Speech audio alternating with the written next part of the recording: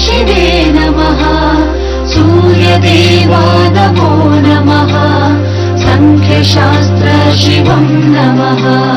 सङ्ख्यशास्त्र शिवं नमः। शिरडि साई गुरुवे नमः। नित्यकायक शिवे नमः। सूर्यदेवा नमो नमः। सङ्ख्यशास्त्र शिवं नमः सङ्ख्यशास्त्र शिवं नमः आदित्यनारायण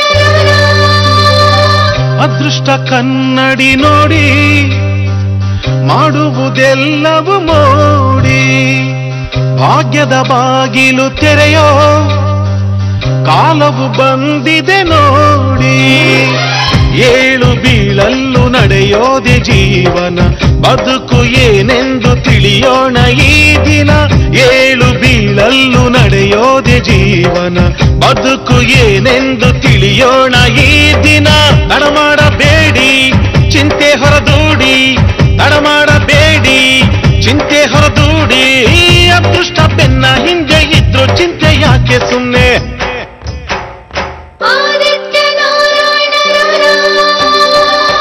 ಅದೃಷ್ಟ ಕನ್ನಡಿ ನೋಡಿ ಮಾಡುವುದೆಲ್ಲವೂ ಮೋಡಿ ಭಾಗ್ಯದ ಬಾಗಿಲು ತೆರೆಯೋ ಕಾಲವು ಬಂದಿದೆ ನೋಡಿ. ನಮಸ್ತೆ. ನಿಮ್ಮ ನೆಚ್ಚಿನ ಸಂಖ್ಯಾಫಲ ಅದೃಷ್ಟ ಕನ್ನಡಿ ಕಾರ್ಯಕ್ರಮಕ್ಕೆ ತಮ್ಮೆಲ್ಲರಿಗೂ ಪ್ರೀತಿಯ ಸ್ವಾಗತ. ಇವತ್ತು ವಿಶೇಷವಾಗಿ ನಾವು ಕುಲದೈವ. ಕುಲದೈವ ಅಂದ್ರೆ ಏನು? ಈ ಒಂದು ಕುಲದೈವದಿಂದ ಆಗ್ತಕ್ಕಂತಹ ಅನುಕೂಲ, ಅನಾನುಕೂಲ, ಹಾಗೆ ಕುಲದೈವಕ್ಕೂ ಕೂಡ ಸಂಖ್ಯೆಗಳಿದೆಯಾ? ಇದೆಲ್ಲದರ ಬಗ್ಗೆ ಸಂಪೂರ್ಣವಾದ ಮಾಹಿತಿಯನ್ನ ನೀಡಲು ನಮ್ಮ ಜೊತೆಗಿದ್ದಾರೆ ಹಸ್ತಶಾಸ್ತ್ರ ತಜ್ಞರು, ವಾಸ್ತು ತಜ್ಞರು, ಹಾಗೆ ಸಂಖ್ಯಾಶಾಸ್ತ್ರ ತಜ್ಞರು ಆದಂತಹ ಶ್ರೀ ಆದಿತ್ಯ ನಾರಾಯಣ ಗುರ್ಜಿಗಳು. ಬನ್ನಿ ಹಾಗಿದ್ರೆ ಗುರ್ಜಿಗಳನ್ನ ಕಾರ್ಯಕ್ರಮಕ್ಕೆ ಸ್ವಾಗತಿಸೋಣ. ಗುರ್ಜಿಗಳೇ, ನಮಸ್ತೆ. ಪಬ್ಲಿಕ್ ಮೂವೀಸ್ನ ಎಲ್ಲ ವೀಕ್ಷಕ ಬಾಂಧವರಿಗೆ ನಮಸ್ಕಾರ. ಗುರುಜಿಗಳೇ ಇವತ್ತು ಕುಲದೈವದ ಬಗ್ಗೆ ನಾವು ಮಾತಾಡ್ತಿದ್ವಿ. ಹಾಗಿದ್ರೆ ಈ ಕುಲದೈವ ಅಂದ್ರೆ ಏನು? ಸಂಖ್ಯಾಶಾಸ್ತ್ರಕ್ಕೂ ಕುಲದೈವಕ್ಕೂ ಏನಾದ್ರೂ ಸಂಬಂಧ ಇದೆಯಾ? ಯಾವ ರೀತಿಯಲ್ಲಿ ಮನುಷ್ಯನಿಗೆ ಈ ಒಂದು ಕುಲದೈವ ಅನುಕೂಲವನ್ನ ಮಾಡಿಕೊಡುತ್ತೆ? ವಿಶೇಷವಾಗಿ ಯಾವುದೇ ಆದಂಥ ಒಂದು ಸಮಸ್ಯೆಗಳು ಮನುಷ್ಯನಿಗೆ ಬರಬೇಕು ಅಂತಂದ್ರೆ ಈಗಾಗಲೇ ನಿಮ್ಗೆ ಹೇಳಿದ್ದೀನಿ ನಾವು ಇಂದಿನ ತಲೆಮಾರುಗಳಲ್ಲಿ ಮಾಡಿರ್ತಕ್ಕಂಥ ಅಪರಾಧ ಕ್ರಿಯೆಗಳು ಅಪಚಾರಗಳು ಈ ಅಪರಾಧ ಅಪಚಾರ ಕ್ರಿಯೆಗಳಿಂದ ಆಗ್ತಕ್ಕಂಥ ಸಮಸ್ಯೆಗಳು ನಮಗೆ ಗೊತ್ತಾಗೋದಿಲ್ಲ. ನಾವು ಅನವರ್ತವಾಗಿ ಮಾಡ್ಕೊಳ್ತಾನೆ ಹೋಗ್ತಾ ಇರ್ತೀವಿ. ಎಷ್ಟೋ ಜನ ಹಿರಿಯರು ಹೇಳ್ತಾ ಬರ್ತಾರೆ "ಏ, ನೀನು ಅದು ನಡ್ಕೋಬೇಕು ಇದು ನಡ್ಕೋಬೇಕು ಹೀಗಿರ್ಬೇಕು ಆಗಿರ್ಬೇಕು. ಆದ್ರೆ ಆ ಆಗಿರ್ಬೇಕು ಈಗಿರ್ಬೇಕು ಅಂತಕ್ಕಂಥವ್ರು ಕೆಲವರು ನಡ್ಕೊಳ್ತಾರೆ ಕೆಲವರು ನಡ್ಕೊಳ್ಳೋದೇ ಇಲ್ಲ. ಅದರಲ್ಲೂ ಈಗಿನ ಜನರೇಷನ್ ಅಂತೂ ಸಾಧ್ಯನೇ ಇಲ್ಲ. ಅದರಲ್ಲಿ ನಮಗೆ ಗೊತ್ತಿದ್ದು ಗೊತ್ತಿಲ್ಲದೇನೆ ಒಂದು ಮನೆ ಅಂತ ತಗೊಂಡಾಗ ಮನೆ ಯಜಮಾನ ಅಂತ ಹೇಳ್ತೀವಿ. ಮನೆ ಯಜಮಾನ ಸುರಕ್ಷಿತವಾಗಿದ್ರೆ, ಸುಭಿಕ್ಷವಾಗಿದ್ರೆ, ಸಂತೋಷವಾಗಿದ್ರೆ, ನೆಮ್ಮದಿಯಾಗಿದ್ರೆ, ಅವನು ಆಶೀರ್ವಾದ ಆ ಮನೆತಲ್ಲಿರ್ತಕ್ಕಂಥ ಸದಸ್ಯರುಗಳ ಮೇಲಿದ್ರೆ ಆ ಮನೆ ನಂದಗೋಕುಲವಾಗಿರ್ತದೆ. ಅದೇ ಆ ಮನೆ ಯಜಮಾನ ಏನಾದರೂ ತಿರಸ್ಕಲ್ಪಟ್ರೆ, ಅಥವಾ ಆ ಮನೆ ಯಜಮಾನಿಗೆ ಯಾರು ನೋವಿದ್ರೆ, ಅಥವಾ ಅಶಾಂತಿ ಇದ್ರೆ, ನಿರಾಶೆ ಇದ್ರೆ, ದುಃಖ ಇದ್ರೆ, ಅಥವಾ ಅವನೇನು ನರಳ್ತಾ ಇದ್ರೆ, ಆ ಕುಟುಂಬದ ಸದಸ್ಯರೆಲ್ಲ ಒಂದಲ್ಲ ಒಂದು ಸಮಸ್ಯೆಗಳಿಗೆ ಒಳಗಾಗಿರ್ತಾರೆ, ನರಳ್ತಾ ಇರ್ತಾರೆ. ಹಾಗೇನೆ ನಮ್ಮ ಇಡೀ ಜೀವನದಲ್ಲಿ ನಾವೆಲ್ಲರೂ ಸುರಕ್ಷಿತವಾಗಿ ಸಂತೋಷವಾಗಿ ನೆಮ್ಮದಿಯಾಗಿ ಸುಖ ಶಾಂತಿ ಇರಬೇಕು ಅಂದ್ರೆ ಪ್ರತಿಯೊಂದು ಮನೆಗೆ ಅವ್ರದೇ ಆದಂಥ ಒಂದು ದೈವಶಕ್ತಿ ಇರ್ತದೆ. ಆ ದೈವ ಶಕ್ತಿಯನ್ನೇ ನಾವು ಮನೆ ದೇವರು ಅಂತ ಹೇಳ್ತೀವಿ. ನಮ್ಮ ಮನೆಯಲ್ಲಿ ನಮ್ಮ ಮನೆ ಯಜಮಾನನೇ ಮನೆ ದೇವರು. ನಮ್ಮ ಇಡೀ ಮನೆತನಕ್ಕೆ ಕುಟುಂಬಕ್ಕೆ ಒಬ್ಬ ಮನೆ ದೇವರು ಅಂತ ಇರ್ತಾನೆ. ಆ ಮನೆತನಕ ಕುಲಕ್ಕೆ ಒಂದು ಕುಲದೈವ ಅಂತ ಇರ್ತದೆ. ಆ ಕುಲದೈವ ಅಥವಾ ಆ ಮನೆ ದೇವರನ್ನ ನಾವು ಅನವರ್ತವಾಗಿ ಪೂಜಿಸಿ, ಆರಾಧಿಸಿ ಆತನ ಒಂದು ಸಂಪರ್ಕದಲ್ಲಿ ಇತ್ತು ಅಂದ್ರೆ ನಮ್ಮ ಇಡೀ ಜೀವನ ಏನಾಗತ್ತೆ? ಬಹಳ ಸುಭಿಕ್ಷ ನಡ್ಕೊಂಡು ಹೋಗ್ತಾ ಇರ್ತದೆ. ಆಗನ್ಬಿಟ್ಟು ಕರ್ಮಗಳು ಕೆಲಸ ಮಾಡಲ್ವಾ ಅಂತ ಕೇಳ್ಬೋದು. ಕರ್ಮಗಳು ಕೆಲಸ ಮಾಡತ್ತೆ. ಯಾವ ರೀತಿ ಕೆಲಸ ಮಾಡುತ್ತೆ? ಆ ಕರ್ಮಗಳ ಒಂದು ಪೂರ್ಣವಾದ ಪ್ರಭಾವವನ್ನ ಕುಂಠಿತ ಮಾಡೋ ಜೊತೆಗೆ ಪೂರ್ಣವಾಗಿ ಅದು ಸಿಕ್ಕಾಕೊಳ್ಳದೆ ಯಾವುದೋ ಒಂದು ರೀತಿನಲ್ಲಿ, ಯಾವುದೋ ಒಂದು ಮಾರ್ಗದರ್ಶನದಲ್ಲಿ ನಾವು ಎಸ್ಕೇಪ್ ಆಗ್ತಕ್ಕಂಥ ಒಂದು ಬಲವನ್ನ ನಮ್ಮ ಕುಲದೈವ ಅಥವಾ ನಮ್ಮ ಮನೆ ದೇವರು ನಮಗೆ ಕೊಡ್ತಾನೆ. ಅಂದ್ರೆ ಅವನ ಆಶೀರ್ವಾದ ಇದ್ದಾಗ. ಆದ್ರೆ ಇವತ್ತಿನ ಕತೆ ಏನಾಗಿದೆ? ಎಷ್ಟು ಜನ ಗೊತ್ತಿದು. ಎಷ್ಟೋ ಜನ ಹೇಳ್ತಿರ್ತಾರೆ ಇದ್ರ ಬಗ್ಗೆ. ಕುಲದೈವ ಕುಲದೈವ ಶಾಪ ಕುಲದೈವ ಯೋಗ ಕುಲದೈವ ಆಶೀರ್ವಾದ ಅಂತ ಹೇಳ್ತಿರ್ತಾರೆ. ಆದರೆ ಕುಲದೈವ ಅಂದ್ರೆ ಯಾರು? ಕುಲದೈವ ನಾವು ಯಾಕೆ ಆರಾಧನೆ ಮಾಡಬೇಕು? ಕುಲದೈವದ ಪ್ರಾಮುಖ್ಯತೆ ಏನು? ಮಹತ್ವ ಏನು? ಅಂತಕ್ಕಂಥದ್ದು ಇವತ್ತಿನ ಜನರೇಷನ್ಗೆ ಯಾರಿಗೂ ಗೊತ್ತಿಲ್ಲ. ಇವತ್ತಿನ ಮಕ್ಕಳುಗಳಿಗೆ ನೀನು ಪೂಜೆ ಮಾಡು ಪುನಸ್ಕಾರ ಮಾಡು ಅಂದ್ರೆ "ಏ, ನಿನ್ಗೆ ಮಾಡೋ ಕೆಲಸ ಇಲ್ಲ ಹೋಗು. ನೀನ್ ಬೇಕಾದ್ರೆ ಮಾಡ್ಕೋ ಹೋಗು. ನನಗೆ ಅವಶ್ಯಕತೆ ಇಲ್ಲ ಅಂತ ಹೇಳ್ತಾರೆ. ಇದು ಒಂದು ಜನರೇಷನ್ ಈ ಜನರೇಷನ್ ಗೊತ್ತೇ ಇಲ್ಲ. ಆದ್ರೆ ಎಷ್ಟೋ ಜನ ತಂದೆ ತಾಯಿಂದರು ಹೇಳ್ಕೊಡ್ತಾರೆ ಅದು ಮಾಡ್ಬೇಕಪ್ಪ ಇದು ಮಾಡಬೇಕು. ನಮ್ಮ ಮನೆ ದೇವರು ಅವರು ನಮ್ಮ ಮನೆ ದೇವರು ಇವರು. ನಾವು ವರ್ಷಕ್ಕೊಂದ್ಸರಿ ಹೋಗ್ಬೇಕು ಅವ್ರ ಸೇವೆ ಮಾಡಬೇಕು ಅಂತ. ಆದ್ರೆ ಅದು ಯಾವುದನ್ನು ಆಡ್ಕೊಳ್ದೆ ಇವತ್ತಿನ ಆಧುನಿಕ ಯುಗದಲ್ಲಿ ಇವತ್ತಿನ ಜನರೇಷನ್ ಮತ್ತೆ ಮುಂದಿನ ಜನರೇಷನ್ ಸಾರಾ ಸಗಟಾಗಿ ಇದನ್ನು ತಿರಸ್ಕಾರ ಮಾಡ್ತಕ್ಕಂಥ ಒಂದು ಕಾಲ ಈಗ ಶುರು ಆಗಿದೆ. ಯಾವುದೋ ಒಂದು ಸೆವೆಂಟಿ ಪರ್ಸೆಂಟ್ ಫಾಲೋ ಮಾಡ್ತಾ ಇದ್ರೆ ಹಿರಿ ಹಿರಿ ತಲೆಗಳು ಈಗಿನ ಜನರೇಷನ್ ಮೂವತ್ತು ಪರ್ಸೆಂಟ್ ಆಗಲೇ ಬಿಟ್ಬಿಟ್ಟಿದ್ದಾರೆ. ಯಾಕಂದ್ರೆ ಇಷ್ಟು ವರ್ಷಗಳ ನಮ್ಮ ಸಂಶೋಧನೆಯಿಂದ ಸಾಬೀತಾಗಿರ್ತಕ್ಕಂಥ ಸತ್ಯ ಇದು. ಹಾಗಿದ್ದಾಗ ಸಿ ನಾವು ಕುಲದೇವನ ಆರಾಧನೆ ಮಾಡ್ತಿದ್ದೀವಿ ಮಾಡಲ್ಲ ಅಂತಕ್ಕಂಥದ್ದು ಇವತ್ತಿನ ಕಥೆ ಅಲ್ಲ ಹಿಂದೆ ಮಾಡತಕ್ಕಂಥವ್ರು. ಅಂದ್ರೆ ಎಲ್ಲವೂ ಗೊತ್ತಿದ್ದು ಗೊತ್ತಿದ್ದು ಗೊತ್ತಿಲ್ಲದೆ ಪರಿಸ್ಥಿತಿಗೆ ಅನುಗುಣವಾಗಿ ಪರಿಸ್ಥಿತಿಗೆ ಬಲಿ ಬಿದ್ದು ನಾವು ನಮ್ಮ ಕುಲದೈವವನ್ನ ಯಾರು ಅಂತ ತಿಳ್ಕೊಳ್ಳದೆ ಇವತ್ತು ಊರ್ ಬಿಟ್ಟು ಊರಿಗೆ ಹೋಗಿರ್ತಕ್ಕಂಥ ಎಷ್ಟೋ ಜನರೇಷನ್ಗಳು ಇವತ್ತಿದ್ದಾವೆ. ಅವ್ರು ಯಾರು ಕೂಡ ಇದ್ರ ಬಗ್ಗೆ ಗಮನ ಕೊಡ್ತಾ ಇಲ್ಲ. ಹಾಗಿದ್ದಾಗ ನಮ್ಮ ಮನೆ ಯಜಮಾನ ಸಂತೋಷವಾಗಿ ಸುರಕ್ಷಿತವಾಗಿ ಇದ್ದಾಗ ಅವನ ಆಶೀರ್ವಾದದಿಂದ ಇಡೀ ಸದಸ್ಯರು ಹೇಗೆ ಸುರಕ್ಷಿತವಾಗಿ ಸಂತೋಷವಾಗಿ ನೆಮ್ಮದಿಯಾಗಿರ್ತಾರೆ ಅದೇ ರೀತಿ ಆ ಕುಲದೈವದ ಒಂದು ಆ ಅದ್ಭುತವಾಗಿರ್ತಕ್ಕಂಥ ಮಹತ್ವ ಪವಾಡದಿಂದ ಆಶೀರ್ವಾದದಿಂದ ಆ ಇಡೀ ಕುಲ ನಿರಂತರವಾಗಿ ಸುಭಿಕ್ಷವಾಗಿರ್ತಿರೋದಕ್ಕೆ ಎಷ್ಟೋ ಕುಟುಂಬಗಳು ಸಾಕ್ಷಿದಾರವಿದೆ ಅದೇ ರೀತಿ ಆ ಕುಲದೈವದ ಶಾಪದಿಂದ ಕುಲದೈವನ ನೋಡ್ಕೊಳ್ಳದೆ ಬಿಟ್ಟು ಬಂದಿರೋದ್ರಿಂದ, ಆಚರಣೆ ಮಾಡದಿರೋದ್ರಿಂದ, ಅವರ ಸಂಪರ್ಕ ಇಲ್ದಿರೋದ್ರಿಂದ, ಅವನ ಒಂದು ದುಃಖ ಕಷ್ಟಗಳನ್ನ ಕೇಳ್ಕೊಳ್ದಿರೋದ್ರಿಂದ ಇವತ್ತು ಎಷ್ಟೋ ಕುಟುಂಬಗಳು ಬೀದಿಗೆ ಬಂದ್ಬಿಟ್ಟಿದ್ದಾವೆ. ಹಾಗಂದಾಗ ನಮ್ಮನ್ನ ಕಾಪಾಡ್ತಕ್ಕಂಥ ದೈವ ಬಹಳ ಇಂಪಾರ್ಟೆಂಟು. ಪ್ರತಿಯೊಂದು ಕೇಳ್ತಾ ಇದ್ದೀನಿ ನಿಮಗೆ. ಯಾವುದೇ ಜನ್ಮ ಸಮಸ್ಯೆಗಳು, ಜನ್ಮ ದೋಷಗಳು ಇದ್ದಂಥ ಪಕ್ಷದಲ್ಲಿ ಆ ಜನ್ಮ ಸಮಸ್ಯೆ, ಜನ್ಮ ದೋಷಕ್ಕೆ ಒಂದು ಶಕ್ತಿ ಬೇಕು. ಆ ಶಕ್ತಿ ಇದ್ರೆ ನಮಗೆ ಮಾರ್ಗ ಸಿಗುತ್ತಿಲ್ಲ ಸಿಗೋದೇ ಇಲ್ಲ. ಇಲ್ಲಿ ಪ್ರತಿಯೊಬ್ಬರು ಜ್ಞಾಪಕ ಇಟ್ಕೊಳ್ಳಿ, ನಮಗೆ ಯಾವುದಾದ್ರೂ ಒಂದು ರಕ್ಷಣೆ ಬೇಕೇ ಬೇಕು.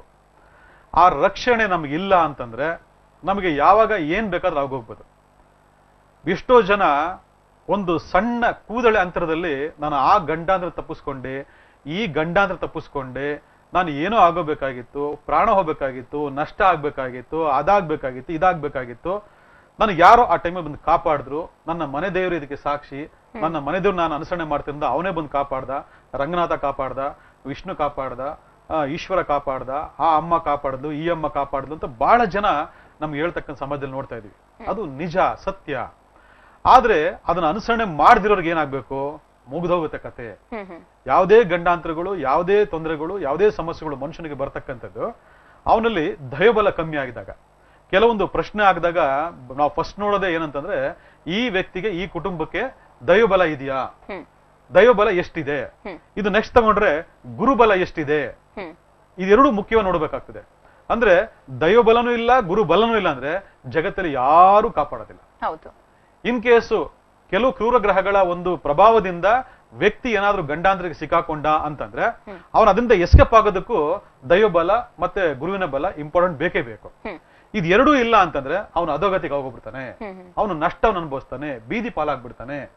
ಇವತ್ತು ಇದು ಒಂದು ವಿಚಾರ ತಗೊಂಡಾಗ ಜ್ಞಾಪಕ ಇಟ್ಕೊಳ್ಳಿ ವೀಕ್ಷಕರೇ ಯಾರ ಮನೆಯಲ್ಲಿ ಮಕ್ಕಳು ಹೇಳೋ ಮಾತು ಕೇಳೋದಿಲ್ಲ. ಮಕ್ಕಳಿಗೆ ತಂದೆ ಮಕ್ಕಳಿಗೆ ಮನೆಯಲ್ಲಿ ಕುಟುಂಬದಲ್ಲಿ ಯಾವಾಗ್ಲೂ ಜಗಳ ಕದನ ನಡೀತಾನೆ ಇರುತ್ತೆ. ಇಂಥ ಒಂದು ಕುಟುಂಬದಲ್ಲಿ ಆ ದೈವ ಶಾಪ ಇದ್ದೇ ಇರ್ತದೆ. ಇದು ಜ್ಞಾಪಕ ಇಟ್ಕೊಳ್ಳಿ. ಹಾಗೆ ಮಕ್ಕಳು ಒಂದು ಏಜಿಗೆ ಬಂದ ಮೇಲೆ ತನ್ನಷ್ಟಕ್ಕೆ ತಾನು ಈ ಲವ್ ಮ್ಯಾರೇಜ್ ಯಾರು ಮಾಡ್ಕೊಂಡ್ಬಿಡ್ತಾರೆ? ಅವ್ರ ಮೇಲೆ ಈ ಕುಟುಂಬದ ಶಾಪ ಇರ್ತದೆ. ಜ್ಞಾಪಕ ಇಟ್ಕೊಳ್ಳಿ. ಯಾರಿಗೆ ರೋಗ ರುಜಿನಗಳು ಬರ್ತಾನೇ ಇರ್ತದೆ, ಅದು ವಾಸಿನೇ ಆಗೋದಿಲ್ಲ. ಒಂದಾದ್ಮೇಲೆ ಒಂದು ಕಾಯಿಲೆ, ಒಂದಾದ್ಮೇಲೆ ಒಂದು ಕಾಯಿಲೆ. ಏನೇ ಟ್ರೀಟ್ಮೆಂಟ್ ತಗೊಂಡ್ರು, ಯಾವುದೇ ರೀತಿ ಟ್ರೀಟ್ಮೆಂಟ್ ತಗೊಂಡ್ರು ಯಾವುದೇ ಪೂಜೆಗಳು ಮಾಡಿದ್ರು ಯಾವುದೇದೋ ಪೂಜೆ ಮಾಡಿದ್ರು ಕೂಡ ಏನ್ ಮಾಡಿದ್ರು ಹೋಗೋದಿಲ್ಲ ಏನಾದ್ರೂ ಒಂದು ಬರ್ತಾನೆ ಇರ್ತದೆ. ಉದ್ಯೋಗದಲ್ಲಿ ಸ್ಥಿರತೆ ಇರೋದೇ ಇಲ್ಲ. ಈ ಕೆಲಸ ಆ ಕೆಲಸ ಆ ಕೆಲಸ ಈ ಕೆಲಸ ಅಲ್ಲಿತ್ತಾನೆ ಇರ್ತಾನ ಅವನು. ಆದ್ರೆ ಅವನು ಈ ಪೂಜೆ ಮಾಡಿದ್ಯಾ ಇಂಥ ದೈವ ಇದೆಯಾ ಮನೆ ಕುಟುಂಬ ಹೋಗಿದ್ಯಾ ಅಂದ್ರೆ ನನಗೆ ಗೊತ್ತೇ ಇಲ್ಲ ಅನ್ಬಿಡ್ತಾನೆ ಈ ತರ ಎಷ್ಟೋ ಜನ ಇದಾರೆ ಇಲ್ಲ ಅಂತ ಹೇಳೋದಿಲ್ಲ ನಾನು. ಆದ್ರೆ ಒಂದು ಸಮಸ್ಯೆ ಅಂತ ಬಂದಾಗ ಆ ಸಮಸ್ಯೆ ಮೂಲ ಕಾರಣ ತಿಳ್ಕೋಬೇಕು ಅಂದಾಗ ಮೊದಲು ಕೇಳ್ಕೋಬೇಕಾಗಿರೋದೆ ದೈವಬಲ ಇದೆಯಾ ಗುರುಬಲ ಇದೆಯಾ ಅಂತ ಹೇಳಿ. ಇಲ್ಲಿ ಒಂದು ಸ್ಥಳದಿಂದ ಇನ್ನೊಂದು ಸ್ಥಳಕ್ಕೆ ಬಂದಿರತಕ್ಕಂತ ಒಂದು ಊರಿಂದ ಇನ್ನೊಂದು ಊರು ಬಂದಿರತಕ್ಕಂತ ಒಂದು ದೇಶವನ್ನು ಬಿಟ್ಟು ಇನ್ನೊಂದು ದೇಶ ಬಂದಿರತಕ್ಕಂತ ಎಷ್ಟೋ ಜನ ತಮ್ಮ ತಮ್ಮ ಕುಲದೈವವನ್ನ ಮರ್ತ್ಬಿಟ್ಟಿರ್ತಾರೆ. ಆದ್ರೆ ಆ ಕುಲದೈವ ಅದನ್ನ ಜ್ಞಾಪಿಸುತ್ತೆ. ಬಿಟ್ಕೊಡೋದಿಲ್ಲ. ನಾನು ಹೇಳಿದಂತ ಮನೆಯಲ್ಲಿ ಹಲವಾರು ನಾನಾ ರೀತಿಯಾದ ಸಮಸ್ಯೆಗಳು. ಅದು ಆರೋಗ್ಯ ಎಜುಕೇಶನ್ ಉದ್ಯೋಗ ವ್ಯವಹಾರ ದಾಂಪತ್ಯ ಎಲ್ಲ ವಿಚಾರಗಳು ಕೂಡ ಒಂದಲ್ಲ ಒಂದು ರೀತಿ ಸಮಸ್ಯೆಗಳನ್ನ ತಂದು ಕೊಟ್ಟು ಕೊಟ್ಟು ಕೊಟ್ಟು ಕೊಟ್ಟು ನಿಮಗೆ ಜ್ಞಾಪಿಸುತ್ತೆ. ಬರೋ ತರ ಮಾಡ್ಕೊಳತ್ತದು. ನೀವು ಮರ್ತೋಗಿರ್ಬೋದು ಬಟ್ ಅವ್ನು ಮರೆಯಲ್ಲ ನಿಮ್ಮನ್ನ. ನಿಮಗೆ ಎಲ್ಲೆಲ್ಲಿ ಏಟ್ ಕೊಡ್ಬೇಕು ಅಲ್ಲೆಲ್ಲ ಕೊಡ್ತಾನ ಅವನು. ಆ ಕೊಟ್ಟು ಅವನು ಕರ್ಸ್ಕೊಂಡು ಸರಿ ಮಾಡ್ಕೊಳ್ತನಕ ಬಿಡದೇ ಇಲ್ಲ ಅಲ್ಲಿ. ಯಾಕಂದ್ರೆ ವಂಶ ಪಾರಂಪರ್ಯ ನಿಮ್ಮನ್ನ ಕಾಯ್ದಿರ್ತಾನ ಅವನು. ಆ ಕಾಯ್ದು ರಕ್ಷಣೆ ಕೊಟ್ಟಿರ್ತಕ್ಕಂಥ ದೈವವನ್ನ ದುಡ್ಡಿನ ಮದದಿಂದನೋ ಅಧಿಕಾರದ ಮದದಿಂದನೋ ಅಥವಾ ದೇಶ ಬಿಟ್ಟು ದೇಶ ಹೋಗಿರ್ತಕ್ಕಂಥದ್ದು ಊರ್ ಬಿಟ್ಟು ಊರು ಹೋಗ್ತಕ್ಕಂಥದ್ದು ಅಥವಾ ಅಹಂಕಾರದಿಂದ ದುರಾಂಕಾರದಿಂದನೋ ಅಥವಾ ಮತ್ತೊಂದು ಮಗದು ಮನೋವಿಕೃತಿಯಿಂದ ನೀವೇನಾದ್ರು ಬಿಟ್ಟಿದ ಪಕ್ಷದಲ್ಲಿ ಅದಕ್ಕೆ ತಕ್ಕ ದಂಡನೆಯನ್ನ ಆಲ ಕಾಲ ಕಾಲಮಾನದಲ್ಲಿ ನಿಮಗೆ ಕೊಡ್ತಾನೇ ಹೋಗ್ತಾ ಇರ್ತಾನೆ. ಅದಕ್ಕೆ ಎಲ್ಲೇ ಸಮಸ್ಯೆ ಇಡೀ ಜೀವನ ಆಗ ಕಾರ್ಯಕ್ರಮ ಹೇಳ್ತಾ ಇರ್ತಕ್ಕಂಥ ಒಂದೇ ಒಂದು. ಜನ್ಮದೋಷ ಅಂದ್ರೆ ಮೊದಲೇ ನೋಡ್ಬೇಕಾಗಿರೋದು ಮುಖ್ಯವಾಗಿ ಅಂತಂದ್ರೆ ಕುಲದೈವ. ಈ ಕುಲದೈವದ ಕುಲದೈವದ ಶಾಪವೇ ಒಂದು ಮುಖ್ಯವಾದ ಜನ್ಮದೋಷ. ಮತ್ತಷ್ಟು ಮಾಹಿತಿ ಕೊಡ್ತೀವಿ ವೀಕ್ಷಕರೇ ಪ್ರತಿಯೊಂದು ಸಾರಿ ಕೂಡ ಎಲ್ಲದಕ್ಕೂ ಉತ್ತರನ ಕರೆಯಲ್ಲೇ ಪಡ್ಕೊಳ್ಳೋದಕ್ಕಾಗಲ್ವಲ್ಲ? ಹಾಗಾಗಿನೇ ನಾವು ತಂದಿದ್ದೀವಿ ಈ ಒಂದು ಪುಸ್ತಕ. ಈ ಒಂದು ಪುಸ್ತಕವನ್ನ ನಿಮ್ಮದಾಗಿಸಿಕೊಳ್ಳಿ. ನಿಮ್ಮ ಜಾತಕ ಭವಿಷ್ಯ ಅಷ್ಟೇ ಯಾಕೆ ನೀವು ಕೂಡ ನಿಮ್ಮ ಮಕ್ಕಳ ಭವಿಷ್ಯದ ಬಗ್ಗೆ ತಿಳ್ಕೊಬಹುದು ಹಾಗೆ ನಿಮ್ಮ ಹೆಲ್ತ್ ಅಪ್ಸೆಟ್ ಆಗಿದ್ಯಾ? ನೀವು ಎಲ್ಲೋದ್ರೂ ಕೆಲಸ ಸಿಗ್ತಾ ಇಲ್ವಾ? ಎಷ್ಟೇ ಗುರುಜಿಗಳ ಹತ್ರ ಅಲ್ಲಿದ್ರೂ ಕೂಡ ನಿಮ್ಮ ಪ್ರಶ್ನೆ ಅಥವಾ ನಿಮ್ಮ ಸಮಸ್ಯೆಗಳಿಗೆ ಉತ್ತರ ಸಿಕ್ಕಿಲ್ಲ ಅನ್ನೋ ಟೈಮಲ್ಲಿ ಈ ಒಂದು ಪುಸ್ತಕವನ್ನ ನಿಮ್ಮದಾಗಿಸಿಕೊಳ್ಳಿ. ಸ್ವತಃ ನಿಮ್ಮ ಭವಿಷ್ಯವನ್ನ ನೀವೇ ಕೂಡ ಕಂಡ್ಕೋಬಹುದು ಹಾಗೆ ಇವತ್ತಿನ ಕಾರ್ಯಕ್ರಮದಲ್ಲಿ ಕುಲದೈವದ ಬಗ್ಗೆ ನಮ್ಗೆ ಗುರುಜಿಗಳು ತಿಳಿಸ್ಕೊಡ್ತೀವಿ ಅಂತ ಹೇಳಿದ್ರು. ಅದರ ಜೊತೆಯಲ್ಲಿ ಸೊ ಇವತ್ತು ವಿಶೇಷವಾಗಿ ಒಂದು ಸಂಗತಿಯನ್ನ ತಿಳಿಸ್ಕೊಡ್ತೀನಿ ಅಂತ ಹೇಳಿದ್ರೆ, ಕುಲದೈವ ಅಂದ್ರೆ ಏನು? ಹೇಗೆಲ್ಲ ಇದು ನಮ್ಗೆ ಒಂದು ಅನುಕೂಲವನ್ನ ಮಾಡ್ಕೊಡುತ್ತೆ? ಇದುವರೆಗೂ ಯಾರು ತಿಳಿಸಿಕೊಟ್ಟಿರ್ತಕ್ಕಂತಹ ರಹಸ್ಯವನ್ನ ಗುರುಜಿಗಳು ಇವತ್ತು ತಿಳಿಸ್ಕೊಡ್ತೀನಿ ಅಂತ ಹೇಳಿದ್ರೆ, ಬನ್ನಿ ಹಾಗಿದ್ರೆ ಗುರುಜಿಗಳನ್ನ ಕೇಳೋಣ. ಗುರುಜಿಗಳೇ, ಹೇಳಿ ಹಾಗಿದ್ರೆ, ನನ್ಗೆ ಹೇಳಿದ್ರಿ ಅಲ್ವಾ ಈ ಹಿಂದೆ ಕೂಡ ಒಂದು ರಹಸ್ಯವನ್ನ ತಿಳಿಸ್ತೀನಿ ಅಂತ. ಏನದು? ಯಾಕಂದ್ರೆ ಪ್ರತಿಯೊಂದು ಸಮಸ್ಯೆ ಬಂದಾಗ ನಾವು ನಮ್ಮ ದೈವ ಯಾವುದು ಅಂತ ಹುಡ್ಕೊಳ್ತಾ ಹೋಗ್ತೀವಿ. ಅದರ ಬದಲು ಆ ದೈವ ನಮ್ಮ ಜೊತೆ ಸದಾ ಕಾಲ ಇರೋ ಥರ ನಾವು ಇವತ್ತು ಫಾಲೋ ಮಾಡಬೇಕು ನಾಳೆ ಮುಂದಿನ ಜನರೇಷನ್ ಫಾಲೋ ಮಾಡಬೇಕು. ಫಾಲೋ ಮಾಡೋಕ್ಕಾಗದೇ ಇರೋನ್ನ ಅವನು ಹೇಗೆ ಫಾಲೋ ಮಾಡಬೇಕು ಅನ್ನೋದನ್ನು ಕೂಡ ಅವನೇ ಬುದ್ಧಿ ಕಲಿಸಿ ಮಾಡ್ಕೊಳ್ತಾರೆ. ಅದು ಬೇರೆ ವಿಷಯ. ಆದರೆ ನಮ್ಮ ಕರ್ತವ್ಯ ನಾವು ಮಾಡ್ತಾ ಇರಬೇಕು. ಇವತ್ತು ಇನ್ನೊಂದು ಗಾಢವಾದ ಪ್ರಶ್ನೆ ಅಂದ್ರೆ ನಮ್ಗೆ ಮನೆ ದೇವರೇ ಗೊತ್ತಿಲ್ಲ. ನಮ್ದು ಕುಲದೈವೇ ಗೊತ್ತಿಲ್ಲ. ನಾನು ಯಾರನ್ನ ಪೂಜೆ ಮಾಡೋದು ಯಾರ ಪೂಜೆ ಯಾವತ್ತಿ ಗೊತ್ತಾಗೋದು? ಬಹಳ ಜನಕ್ಕೆ ಈ ಗೊಂದಲ ಪ್ರಶ್ನೆ ಇದೆ. ಇದಕ್ಕೆ ನೀವ್ ಏನ್ ಮಾಡ್ಬೇಕು ಅಂತಂದ್ರೆ ವಿಶೇಷವಾಗಿ ನಮ್ಮ ಕುಲದೈವ ಯಾವುದು? ಅಥವಾ ನನಗೆ ತಿಳಿಸ್ಕೊಡಪ್ಪ ಅಂತೇಳಿ ನೀವೇನ್ ಮಾಡ್ಬೇಕು? ಒಂದು ಹತ್ತು ದಿವಸ ಹತ್ತರಿಂದ ಹನ್ನೊಂದು ದಿವಸ ಮಲಗಬೇಕಾದ್ರೆ ಸಂಕಲ್ಪ ಮಾಡಿ ಮಲಗಬೇಕು. ಎಷ್ಟು ಅದ್ಭುತವಾಗಿ ನಿಮ್ಮ ಕುಲದೈವ ನಿಮ್ಮ ಕನಸಲ್ಲಿ ಕಾಣಿಸ್ಕೊಳ್ತಾನಂತಂದ್ರೆ ಇದನ್ನ ನೂರಾರು ಸಾವಿರ ಜನಕ್ಕೆ ಹೇಳ್ಕೊಟ್ಟಿದ್ದೀನಿ. ಅವ್ರು ಎಲ್ಲರೂ ಕೂಡ ಒಂದು ನೈಂಟಿ ಪರ್ಸೆಂಟ್ ಜನ ನನಗೆ ಗೊತ್ತಾಯ್ತು. ನಾನು ಆಮೇಲೆ ವಿಚಾರಿಸಿದ ಮೇಲೆ ಹೌದು ಇದೇ ನಿಮ್ ದೈವ ಅಂತ ಹೇಳಿದ್ರು. ಅಷ್ಟು ಪರ್ಫೆಕ್ಟ್ ಆಗಿ ನನಗೆ ಕಾಣಿಸ್ಕೊಂಡ. ಬಹಳ ಧನ್ಯವಾದಗಳು ನನಗೆ ನನ್ನ ದೈವನ ತೋರಿಸ್ಕೊಡೋದಕ್ಕೆ ಅಂತೇಳಿ ಇವತ್ತು ಬಹಳ ಜನ ನನ್ ಬಂದು ಹೇಳ್ತಾರೆ. ಕಾರಣ ಏನು? ನಾವು ದೈವನ ಅನುಸರಣೆ ಮಾಡಿದಾಗ ಅವ್ ನಮ್ಗೆ ಗೋಚರ ಆಗ್ತಾನೆ. ನಾವು ದೈವನ ಫಾಲೋ ಮಾಡ್ತಾ ಇದ್ರೆ ನಮ್ಗೆ ಜನ್ಮದಲ್ಲಿ ಬಂದಿರತಕ್ಕಂತ ಮಿಕ್ಕ ಯಾವುದೇ ಗ್ರಾಚಾರಗಳನ್ನ ಅದು ಪೂರ್ಣವಾಗಿ ತಡೆದೇ ಇರೋ ತರ ಅವ್ನು ನಮ್ಮನ್ನ ಕಾಪಾಡ್ತಾನೆ. ಆಗಿದ್ದಾಗ ಸದಾ ಕಾಲ ರಕ್ಷಣೆ ಮಾಡ್ತಕ್ಕಂಥ ಒಂದು ದೈವ ನಮ್ಮ ಕುಲದಲ್ಲೇ ಇರ್ತಾನೆ ಅಂತಂದ್ರೆ ನಾವು ಆ ದೇವಸ್ಥಾನ ಈ ದೇವಸ್ಥಾನ ಆ ದೇವರು ಈ ದೇವರು ಅವ್ರು ಪವರ್ಫುಲ್ ಅಂತೆ ಇವ್ರು ಪವರ್ಫುಲ್ ಅಂತೆ. ನಮ್ಮ ತಂದೆ ತಾಯಿನ ಬಿಟ್ಬಿಟ್ಟಿರ್ತೀವಿ. ಇನ್ಯಾವುದೋ ತಂದೆ ಪವರ್ಫುಲ್ ಅಂತೆ ಇನ್ಯಾವ್ದು ತಾಯಿ ಪವರ್ಫುಲ್ ಅಂತೆ. ಅವ್ರು ಚೆನ್ನಾಗಾಗ್ಬಿಟ್ಟಿದಾರಂತೆ ನಾವ್ ಹಿಂಗೆ ಇದೀವಂತೆ ಸಿ ಈ ತರ ಎಲ್ಲ ಒಂದು ಮನೋವಿಕೃತಿಯಿಂದ ನಾವು ನಮ್ಮ ದೈವವನ್ನು ಬಿಟ್ಬಿಟ್ಟು ಯಾವ್ದೋ ದೈವ ಫಾಲೋ ಮಾಡಕ್ ಹೋದ್ರೆ ಪ್ರಯೋಜನ ಆಗೋದಿಲ್ಲ. ದೈವ ದೈವಗಳಲ್ಲೇ ವೈಮನಸ್ಸ ಇದೆ ಜ್ಞಾಪಕ ಹೇಳ್ತಾ ಇದ್ದೀನಿ ಇವತ್ತು. ದೈವ ದೈವಗಳಲ್ಲೇ ವೈಮನಸ್ಸ ಇದೆ ಹೊಟ್ಟೆ ಉರಿ ಇದೆ. ಅಂದ್ರೆ ನನ್ನನ್ನ ಬಿಟ್ಬಿಟ್ಟು ನೀನ್ ಇನ್ನೊಂದು ದೈವ ಹಿಡ್ಕೊಳಕ್ ಹೋಯ್ತು ಅಂದಾಗ ಆ ದೈವ ಆಪೋಸಿಟ್ ಆಗತ್ತೆ ಅನ್ನೋದಕ್ಕೆ ಎಷ್ಟೋ ಸಾಕ್ಷ್ಯ ನಮ್ಮಲ್ಲಿದ್ದಾವೆ ಬಹಳ ಜನ ಕೇಳ್ಬೋದು ಅಯ್ಯೋ ಇದು ಮನುಷ್ಯರಲ್ಲಿ ಇದೆಯಲ್ಲ ಈ ರೀತಿ ಭಿನ್ನಾಭಿಪ್ರಾಯ? ದೇವರಲ್ಲೂ ಇದೆಯಾ ಅಂತೇಳಿ. ದೇವರಲ್ಲೂ ಇದೆ ಸತ್ಯ. ನೀವು ನೋಡಿ ನಿಮ್ಗೆ ಇಂದಿನ ಈ ಮಂಗಳೂರು ಕಡೆ ದೈವಗಳು ನಮ್ಮ ಬೆಂಗಳೂರು ಕಡೆ ದೈವಗಳು ತಗೊಂಡಾಗ ಇವೆಲ್ಲ ಎಷ್ಟು ಅದ್ಭುತವಾಗಿ ಮಾತಾಡ್ತವೆ ಎಷ್ಟು ಅದ್ಭುತವಾಗಿ ನಡ್ಕೊಳ್ತೇವೆ ಅಂತಂದ್ರೆ ಅವು ಅಲ್ಲೇ ನಿಮ್ಗೆ ಕೋಪ ಮಾಡ್ಕೊಂಡ್ಬಿಡ್ತವೆ. ಅಲ್ಲೇ ನಿಮ್ಗೆ ಇದಾಗ್ತದೆ. ಇವತ್ತು ದೈವ ಇಲ್ಲ ಅಂತಕ್ಕಂಥ ಜನ ಎಷ್ಟೋ ಜನ ಇದ್ದಾರೆ. ಆದ್ರೆ ನಾವು ಅನುಸರಣೆ ಮಾಡ್ತಕ್ಕಂಥ ಆ ಒಂದು ಹಂತದಲ್ಲಿ ಹೋದಾಗ ನಮಗೆ ಅದು ಗೋಚರ ಆಗ್ತದೆ. ಅದರಿಂದ ಯಾರಿಗೆ ಈ ದೈವ ಗೊತ್ತಿಲ್ಲ ಕುಲದೈವ ಗೊತ್ತಿಲ್ಲ ನಾನು ಅನುಸರಣೆ ಮಾಡ್ಬೇಕು ಅಂತಕ್ಕಂಥರಿಗೆ ಶಾಸ್ತ್ರಾತೀತವಾಗಿ ಬಹಳಷ್ಟು ಪರಿಹಾರಗಳು ನಮ್ಮಲ್ಲಿದ್ದಾವೆ. ಅದನ್ನೇ ಸಂಖ್ಯೆ ಬೇರೆಗಳಲ್ಲ ದೈವ ಬೇರೆಲ್ಲ ಅಂತ ಹೇಳ್ತೀವಿ. ಈಗ ಸಂಖ್ಯೆ ತಗೊಂಡಾಗ ಈ ಕುಲದೈವಕ್ಕೆ ಸಂಬಂಧಪಟ್ಟಂತ ಒಂದು ಸಂಖ್ಯೆ ಇದೆ ಇಲ್ಲಿವರೆಗೂ ಯಾರು ಹೇಳ್ಕೊಟ್ಟಿಲ್ಲ. ನ್ಯೂಮರಾಲಜಿ ಅಂತಂದ್ರೆ ಬರೀ ನೇಮ್ ಚೇಂಜ್ ಮಾಡ್ಕೊಳ್ಳಿ ಉಂಗ್ರ ಹಾಕೊಂಬಿಡಿ ಅಂತ ಅಲ್ಲ. ಸಿ ಈ ಗ್ರಹ ಸಂಬಂಧಪಟ್ಟಂತ ಲೆಕ್ಕಾಚಾರವೇ ಸಂಖ್ಯೆಗಳ ಶಾಸ್ತ್ರ. ಅಂದ್ರೆ ಗ್ರಹಗಳ ಶಾಸ್ತ್ರ ಸಂಖ್ಯೆಗಳ ಶಾಸ್ತ್ರ. ಗ್ರಹಗಳ ಶಾಸ್ತ್ರ ಜ್ಯೋತಿಷ್ ಶಾಸ್ತ್ರ. ಸಂಖ್ಯೆಗಳ ಶಾಸ್ತ್ರ ಸಂಖ್ಯಾಶಾಸ್ತ್ರ ಇಷ್ಟೇ ವ್ಯತ್ಯಾಸ. ಆದ್ರೆ ಅಲ್ಲಿರ್ತಕ್ಕಂತ ಒಂದು ಕುಲದೈವಕ್ಕೆ ಸಂಬಂಧಪಟ್ಟಂತ ಜಾತಕ ತಗೊಂಡಾಗ ಜಾತಲಿ ಕುಲದೈವ ಶಾಪ ಅಂತೇಳಿ ನಾವು ಜ್ಯೋತಿಷ್ ಶಾಸ್ತ್ರದಲ್ಲಿ ಕೆಲವೊಂದು ಮನೆಗಳನ್ನ ನೋಡಿ ಮನೆಗಳಿರ್ತಕ್ಕಂಥ ಗ್ರಾಸ್ತಿಗಳು ನೋಡಿ ನಾವು ಬಹಳ ಸರಾಸರಿ ಹೇಳ್ತೀವಿ ಓ ನಿನಗೆ ಕುಲದೇವ ಶಾಪ ಇದೆ ಗುರುಬಲ ಇಲ್ಲ ನಿನಗೆ ಅಂತೇಳಿ. ಅದೇ ನಂಬರ್ ತ್ರೀ ಅಂತ ಹೇಳ್ತೀವಿ ಗುರುಗ್ರಹ ಅಂತ ಹೇಳ್ತೀವಿ. ಅಂದ್ರೆ ಕುಲದೈವ ಮತ್ತೆ ಸಂಖ್ಯೆ ತಗೊಂಡಾಗ ನಂಬರ್ ತ್ರೀ ಇಸ್ ದ ಕುಲದೈವ ಸಂಖ್ಯೆ ಜ್ಞಾಪಕ ಇಟ್ಕೊಳ್ಳಿ. ಇವತ್ತು ಯಾರು ಮೂರು ಹನ್ನೆರಡು ಇಪ್ಪತ್ತೊಂದು ಮೂರು ತಾರೀಕಲ್ಲಿ ಬರ್ತಾ ಇದೆ ಅಥವಾ ಜನ್ಮ ಸಂಖ್ಯೆ ಅಥವಾ ಭಾಗ್ಯ ಸಂಖ್ಯೆ ಈ ಸಂಖ್ಯೆಗಳ ಅನುಸರಣವಾಗಿ ಇರತಕ್ಕಂಥ ಲೆಕ್ಕಾಚಾರ ಯಾವಾಗ್ಲೂ ಅವರು ಗುರುವನ್ನ ಅನುಸರಣೆ ಮಾಡ್ತಿರ್ತಾರೆ. ಅಂದ್ರೆ ಅರ್ಥ ಏನು? ನಿಮ್ಗೆ ಯಾವುದೇ ಸಮಸ್ಯೆ ಬಂದಾಗ, ಏನೇ ಬಂದಾಗ, ಕೆಲವೊಂದು ರಾಶಿಗಳು ಬಂದಾಗ, ಓ, ಗುರುಬಲ ತುಂಬಾ ಚೆನ್ನಾಗಿದೆ, ನಿಮ್ಗೆ ಏನು ಆತಂಕ ಪಡೋ ವಿಚಾರ ಇಲ್ಲ.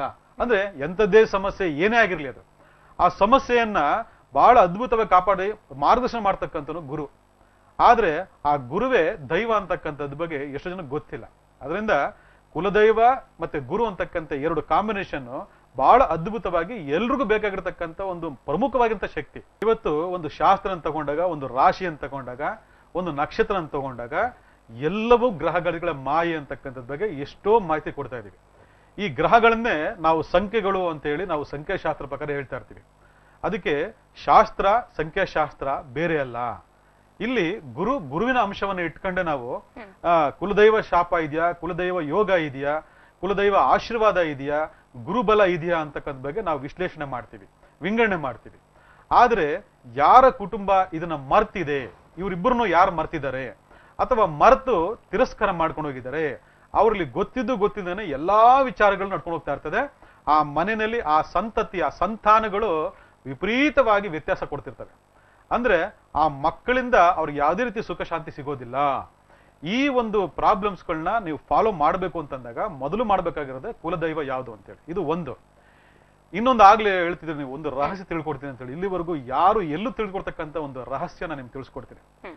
ಇವತ್ತು ನಾವು ಹುಟ್ಟಿದಾಗ ನಮ್ಮಪ್ಪ ಅವರಪ್ಪ ಅವ್ರ ತಾತ ಮುತ್ತಾತ ಆ ಕುಟುಂಬದಲ್ಲೇ ಆರಾಧನೆ ಮಾಡ್ಕೊಂಡ್ ಬಂದಿರತಕ್ಕಂಥ ದೈವ ಒಂದು ಕಡೆ ಆದ್ರೆ ನಾವು ಎಲ್ಲಿ ಹೋಗಿ ವಾಸ ಮಾಡ್ತೀವಿ ಆ ವಾಸ ಮಾಡ್ತಕ್ಕಂಥ ದೈವನು ಕೂಡ ಅನುಸರಣೆ ಮಾಡ್ಬೇಕು ಅನ್ನತಕ್ಕಂಥದ್ದು ಯಾರಿಗೂ ಗೊತ್ತಿಲ್ಲ. ಹೌದು. ಇದು ಜ್ಞಾಪಕ ಇಟ್ಕೊಳ್ಳಿ. ಯಾರದು ನಾವು ಎಲ್ಲಿ ವಾಸ ಮಾಡ್ತೀವೋ ಆ ವಾಸ ಮಾಡ್ತಕ್ಕಂಥ ಜಾಗಕ್ಕೆ ಒಂದು ಅಧಿದೇವತೆ ಒಂದು ದೈವ ಅಂತ ಇರ್ತದೆ. ಇದನ್ನ ನಾವು ನಮ್ಮ ಭಾಷೆನಲ್ಲಿ ಗ್ರಾಮ ದೇವತೆ ಅಂತ ಹೇಳ್ತೀವಿ. ಇವತ್ತು ಸಿಟಿ ಬೆಂಗಳೂರು ಆ ಊರು ಈ ಊರು ರಾಜನಗರ ಅದು ಇದು ಅಂತ ನಾವು ವಿಂಗಡಣೆ ಮಾಡ್ಕೊಂಡಿದೀವಿ ಆದ್ರೆ ಹಿಂದೆ ಇವೆಲ್ಲ ಒಂದು ಗ್ರಾಮ ಒಂದು ಹಳ್ಳಿ. ಈ ಗ್ರಾಮ ಈ ಜಾಗ ಈ ಸ್ಥಳಕ್ಕೆ ಒಂದು ದೇವತೆ ಅಂತ ಇರ್ತಾಳೆ. ಒಂದು ದೈವ ಅಂತ ಇರ್ತದೆ. ಅದು ಗಂಡು ದೇವರಾಗಿರ್ಬೋದು ಹೆಣ್ಣು ದೇವರಾಗಿರ್ಬೋದು. ಇವತ್ತು ಊರು ಬಿಟ್ಟು ಊರು ಬಂದ್ಬಿಟ್ಟೆ ಅಂದ ತಕ್ಷಣನೇ ನನಗೆ ಗೊತ್ತಿಲ್ಲ ಅಂತಕ್ಕಂಥ ಎಷ್ಟೋ ಲೆಕ್ಕಾಚಾರಗಳು ನಮ್ಮಲ್ಲಿದ್ದು ಮರ್ತೋಗ್ಬಿಟ್ಟಿದ್ದಾರೆ. ನನ್ಗೆ ಗೊತ್ತಿಲ್ಲ ಬೇಡ ನನ್ಗೆ ಗೊತ್ತೇ ಇಲ್ಲ ಅದು ಅಂತ ಸುಮ್ಮನಾಗ್ಬಿಡ್ತಾರೆ ಆದ್ರೆ ಗೊತ್ತಾಗೋ ತನಕ ನಿಮ್ಮನ್ ಬಿಡಲ್ಲ ನಿಮ್ ದೈವ.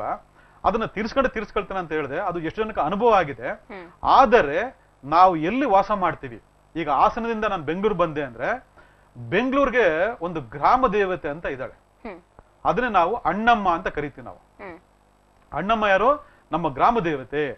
ಬೆಂಗಳೂರಲ್ಲಿ ವಾಸ ಮಾಡ್ತಕ್ಕಂಥ ಅಷ್ಟು ಜನ ಒಂದು ನಿಗದಿತವಾಗಿರ್ತಕ್ಕಂಥ ಒಂದು ಸಮಯದಲ್ಲಿ ಆ ಅಣ್ಣಮ್ಮನ ಆರಾಧನೆ ಮಾಡ್ಲೇಬೇಕು ನೀವು. ಯಾಕಂದ್ರೆ ಬೆಂಗಳೂರು ಕಾಯ್ತಕ್ಕಂಥಳು ಅಣ್ಣಮ್ಮ. ಆದ್ರೆ ಆಕೆನೇ ಮರ್ತು ಬಿಟ್ಟು ನಿಮ್ಮ ಕುಲದೈವನು ಮರ್ತು ಬಿಟ್ಟು ನೀವು ಬೆಂಗಳೂರಲ್ಲಿ ನಿಮ್ದೇ ವಾಸ ಮಾಡಕ್ ಸಾಧ್ಯನೇ ಇಲ್ಲ. ಇದು ಜ್ಞಾಪಕ ಇಟ್ಕೊಳ್ಳಿ.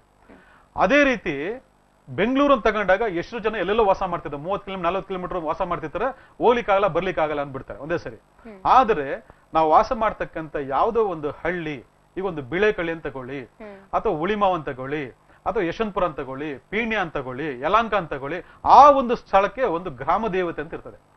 ಇವತ್ತು ಅಧುನೀಕರಣ ಆಗ್ಬಿಟ್ಟು ನಾವು ಎಲ್ಲ ಮರ್ತಿರ್ಬೋದು ಆದ್ರೆ ಎಷ್ಟೋ ವಿಚಾರಗಳಲ್ಲಿ ಒಂದು ಸಣ್ಣ ಪುಟ್ಟ ಗುಡಿ ಕಲ್ಲು ಕಟ್ಟಡ ಇರತಕ್ಕಂಥ ಒಂದು ಗುಡಿ ಯಾವುದೋ ಹೊಲ ಯಾವುದೋ ರಸ್ತೆ ಯಾವುದೋ ಮುಖ್ಯ ರಸ್ತೆ ಎಲ್ಲೋ ಒಂದು ಕಡೆ ಆ ಗ್ರಾಮದಿರ್ತಕ್ಕಂಥವ್ರು ಅದನ್ನ ಪೂಜೆ ಮಾಡ್ತಿರ್ತಾರೆ.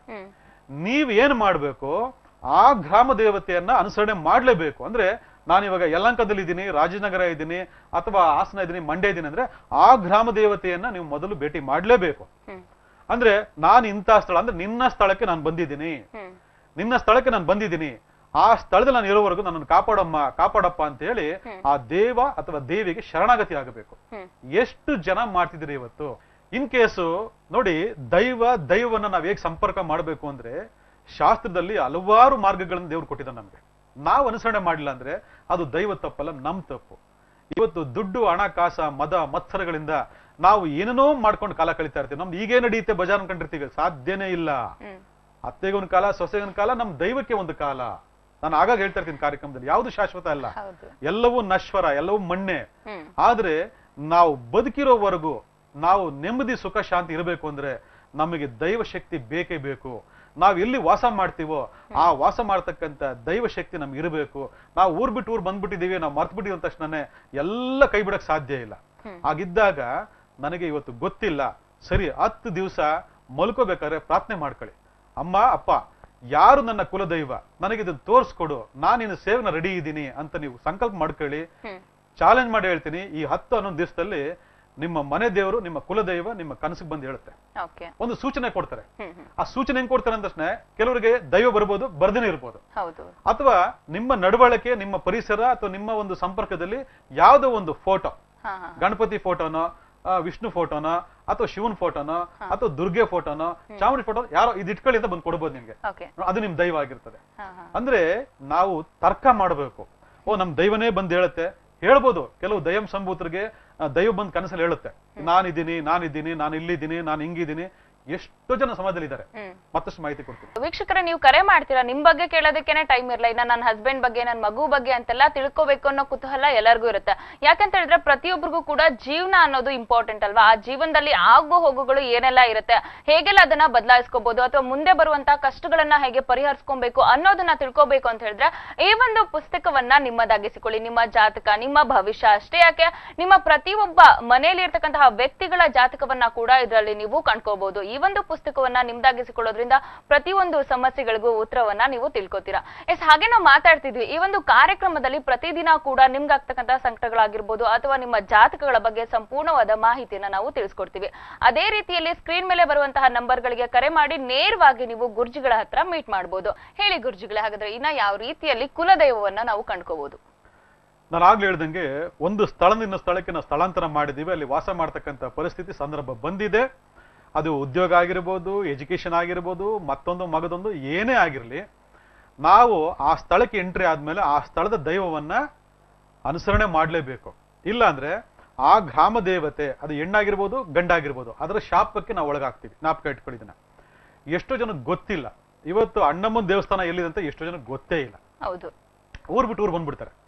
ಆದ್ರೆ ನಿಮ್ಮ ಸ್ಥಳಕ್ಕೆ ಯಾರಾದರೂ ಬಂದ್ರೆ ನೀವು ಕೇಳೇ ಕೇಳ್ತಿರಲ್ವಾ? ಏ ನಂದು ಜಾಗ ಇದು ನನ್ನ ಏರಿಯಾ. ನನ್ನ ತೋಟ ನನ್ನ ಮನೆ ನನ್ನ ಹೊಲ ಗದ್ದೆ ನೀವು ಯಾರು ಒಳಗಡೆ ಬರೋದಕ್ಕೆ ಅಂತ ಕೇಳೇ ಕೇಳ್ತೀವಲ್ವಾ? ಹಾಗೆ ನಾವು ವಾಸ ಮಾಡ್ತಕ್ಕಂಥ ಏರಿಯಾ ಅಥವಾ ಆ ಜಾಗ ಆ ಕ್ಷೇತ್ರ ಆ ಕ್ಷೇತ್ರಕ್ಕೆ ಒಂದು ಅಧಿದೇವತೆ ಆ ಕ್ಷೇತ್ರ ಪಾಲಕ ಅಂತ ಹೇಳ್ತೀವಿ. ಆ ಕ್ಷೇತ್ರ ಪಾಲಕದ ಹೆಣ್ಣು ದೇವತೆ ಆಗಿದ್ದು ಗಂಡು ದೇವತೆ ಅದು ದೃಷ್ಟಿ ಬೀರುತ್ತಂತೆ. ಅದು ಯಾರು ಬಂದು ಹೇಳೋದಿಲ್ಲ ನಿಮಗೆ. ನಾವು ತಿಳ್ಕೊಂಡಿರ್ಬೇಕು. ಇದನ್ನೆಲ್ಲ ಹಿಂದೆ ಎಷ್ಟೋ ಹಿಂದೆ ಹೇಳಿದ್ದಾರೆ ಇದನ್ನೆಲ್ಲ. ಇದು ಯಾರು ಗೊತ್ತಿಲ್ಲ. ನಾನು ಆಗ್ಲೇ ಹೇಳ್ದಂಗೆ ಆಧುನಿಕತೆ ಭರಾಟೆಯಲ್ಲಿ ಎಲ್ಲ ಮರ್ತು ಹೋಗ್ತಾ ಇದೀವಿ ನಾವು. ದೈವದ ಶಕ್ತಿ ದೈವದ ಪ್ರಾಮುಖ್ಯತೆ ನಮಗೆ ಗೊತ್ತಿಲ್ಲ ಮಹತ್ವ ಗೊತ್ತಿಲ್ಲ ಅವನ ರಕ್ಷಣೆ ನಮಗಿಲ್ಲ ಅಂದ್ರೆ ಯಾವಾಗ ಬೇಕಾದ್ರೂ ಏನ್ ಬೇಕೋ ಆಗ್ಬೋದು ನಮಗೆ. ಅದನ್ನ ಕಾಪಾಡ್ಕೊಳ್ತಕ್ಕಂಥ ಶಕ್ತಿ ನಮ್ಗೆ ಇರೋದೇ ಇಲ್ಲ ಅಲ್ಲಿ. ಅದರಿಂದ ನಾವು ಇದ್ರ ಅನುಸರಣೆ ಮಾಡ್ಬೇಕು ಅಂದಾಗ ನಮಗೆ ಗೊತ್ತಿಲ್ಲ ಅಂತಂದಾಗ ಒಂದು ಹತ್ತರಿಂದ ಹನ್ನೊಂದು ದಿವಸ ಮಲಗೋದಕ್ಕಿಂತ ಮುಂಚೆ ಸಂಕಲ್ಪ ಮಾಡಿ ಮಲ್ಕೊಳ್ಳಿ.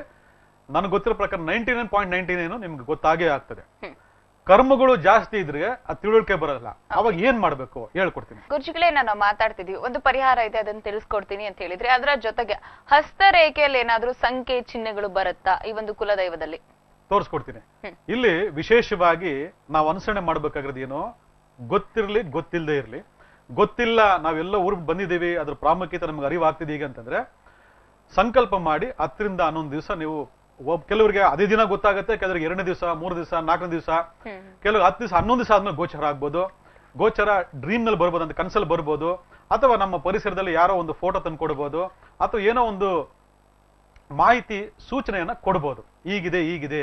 ಅಥವಾ ಯಾರೋ ನಮ್ಮ ದೂರದ ನೆಂಟರೋ ಬಂಧು ಬಳಗನೋ ನಾವು ಇದು ಅನುಸರಣೆ ಮಾಡ್ತಿದ್ರು ನಿಮ್ಮಪ್ಪ ಈ ದೈವನ ಅನುಸರಣೆ ಮಾಡ್ತಿದ್ರು ನಿಮ್ಮ ಮನೆಯವರೆಲ್ಲ ನಿಮ್ಮ ಕುಲಜರೆಲ್ಲ ಇದನ್ನ ಅನುಸರಣೆ ಮಾಡ್ತಿದ್ರು ನೀವು ಬಿಟ್ಟು ಬಂದ್ಬಿಟ್ರಿ. ಏನೋ ಒಂದು ನ್ಯೂಸ್ ಬರುತ್ತೆ ನಿಮಗೆ. ಅಂದ್ರೆ ಈ ಸೂಚನೆಗಳನ್ನ ನಾವು ತಿಳ್ಕೊಳ್ಳೋದ ಮುಖಾಂತರ ತರ್ಕ ಮಾಡೋದ ಮುಖಾಂತರ ನಾವು ಅದನ್ನ ಅನುಸರಣೆ ಮಾಡ್ಬೇಕು. ಇದು ಆಗ್ಲಿಲ್ವಾ ಇದೇನು ಗೊತ್ತಿಲ್ವಾ? ಯಾವ್ದೋ ಕರ್ಮ ಅದು ತಿಳಿಸ್ಕೊಡ್ತಾ ಇಲ್ಲ ನಮಗೆ ಅಂತಂದ್ರೆ ಯಾರಿಗೆ ಕುಲದೈವ ಇಲ್ಲ ಕುಲದೈವ ಗೊತ್ತಿಲ್ಲ ಅವ್ರು ಎಲ್ಲರೂ ಕೂಡ ವನದುರ್ಗೆ ಪೂಜೆಯನ್ನ ಮಾಡ್ಬೇಕು ಅಂತೇಳಿ ಶಾಸ್ತ್ರ ಬಹಳ ಸ್ಪಷ್ಟವಾಗಿ ಹೇಳ್ತದೆ. ಅಂದ್ರೆ ವನದುರ್ಗೆಯನ್ನು ಯಾರು ಆರಾಧನೆ ಮಾಡ್ತಾರೆ? ಕುಲದೈವ ಗೊತ್ತಿರ್ಲಿ ಗೊತ್ತಿಲ್ಲದೆ ಇರಲಿ ವನದುರ್ಗೆಯನ್ನು ಯಾರು ಆರಾಧನೆ ಮಾಡ್ತಾ ಬರ್ತಾರೆ? ಅವ್ರಿಗೆ ಈ ಕುಲದೈವ ಶಾಪ ನಿವೃತ್ತಿ ಆಗುತ್ತಿರೋದಕ್ಕೆ ಶಾಸ್ತ್ರದಲ್ಲಿ ಉಲ್ಲೇಖ ಇದೆ ಇದು ಸತ್ಯ ಕೂಡ.